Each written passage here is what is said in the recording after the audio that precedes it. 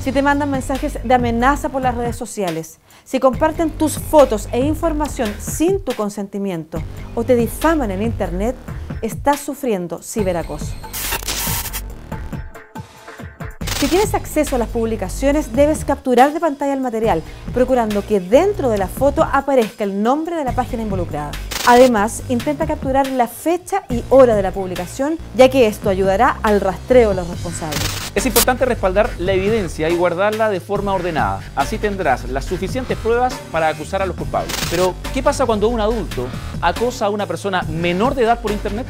Esto se conoce como grooming y se tipifica como un acoso sexual hacia menores, donde se incluyen las amenazas y el material pornográfico. Esta norma castiga con hasta 5 años al adulto que amenace, hostigue o abuse virtualmente a un menor. Para denunciar, acude a la PDI, donde existe un departamento especialmente dedicado a este tipo de delitos, la Brigada del Cibercrimen. Acosados. Es tiempo de decir basta.